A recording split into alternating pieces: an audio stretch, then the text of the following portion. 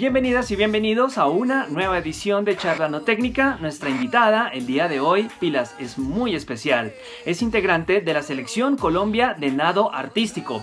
Participó por primera vez en la historia de nuestro país en unos Juegos Olímpicos en Río 2016. Es emblema de la natación en Colombia y por supuesto también es amante de la literatura y es psicóloga de profesión. Sin más preámbulo, le damos la bienvenida en Charla No Técnica a Mónica Saray Arango.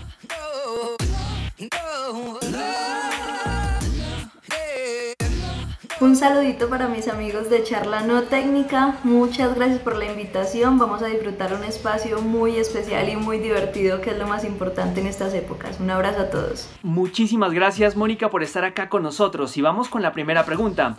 Quisiera que nos contaras algo de tu deporte que te haya sorprendido mucho y que por ahí de pronto nosotros no sepamos. ¿Qué se te ocurre? Cosas curiosas de mi deporte. Utilizamos gelatina sin sabor en la cabeza para que no se nos dañe el peinado.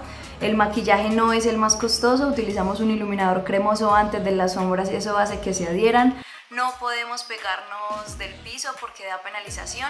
La mayoría utilizamos nariguera para que el agua no se nos entre por la nariz. Escuchamos la música por debajo tal cual se escucha afuera y toda la parte artística se evalúa, hace parte de la puntuación de los jueces. Bueno, ¿quién se hubiera podido imaginar siquiera un poquito, Mónica, que para la natación artística se requieran tantas cosas? Gran dato el que nos cuentas. Ahora vamos con la siguiente, ¿verdad o mito?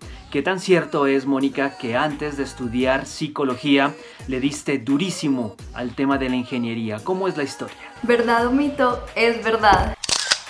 Estudié cuatro semestres de ingeniería electrónica en la Universidad de Antioquia y salía rápido lo que tenía que estudiar en ingeniería para empezar a leer cosas de psicología. Llegó un punto que dije no, me volví a presentar a la universidad, pasé y a hoy soy una enamorada por completo de la psicología.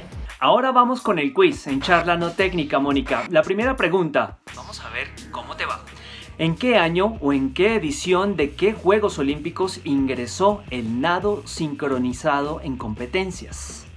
Los Ángeles, eso fue el 84, yo creo, pues creo, creo, creo, obviamente no existía ni siquiera para ese momento, pero creo que fueron en esos Juegos Olímpicos que inició el nado.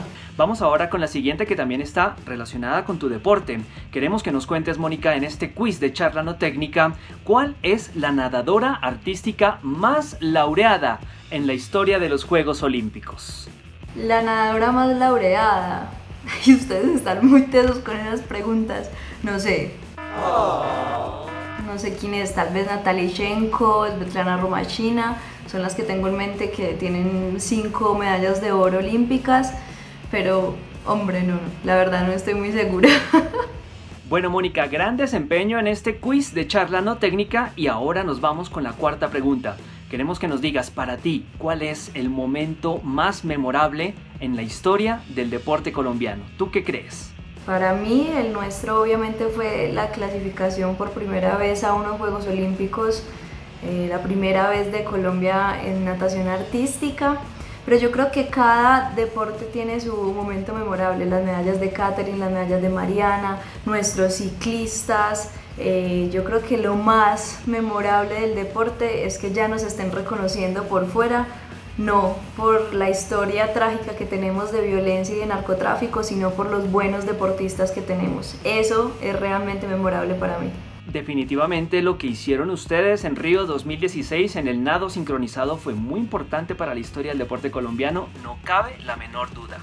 Vamos a cerrar esta charla no técnica, vamos a comenzar a cerrar esta charla y queremos preguntarte, Mónica, si no hubiera sido natación o nado sincronizado, ¿qué otro deporte hubieras practicado y por qué?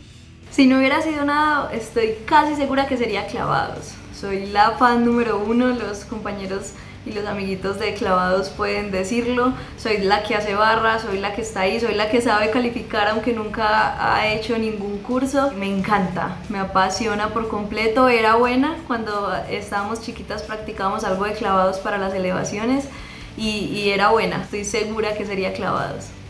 Buenísimo, Mónica. Y vamos ya con el bonus, con una ñapa, acá en Charla No Técnica queremos que nos digas cuál crees tú que es la primer foto tuya que sale en internet si por ahí te googleamos. ¿Qué opinas? Si me buscan en Google cuál es la primera foto, no sé. Espero que no sea una foto en pelota, espero que salga alguna foto de la clasificación o algo un poquito más deportivo o tal vez de psicología. Eh, pero no tengo ni idea, no suelo buscarme mucho en Google, la verdad. Ah, pues Mónica, muchísimas gracias por estar acá con nosotros en Charla No Técnica. Muy amable por tu tiempo, por tu disposición y por compartir tus historias con nosotros. Un abrazo grande y que todo te salga muy bien este año. Chao. Muchas gracias por la invitación. Espero lo hayan disfrutado tanto como lo disfruté yo y nos estamos viendo. Un abrazo a todos, la mejor energía y feliz vida.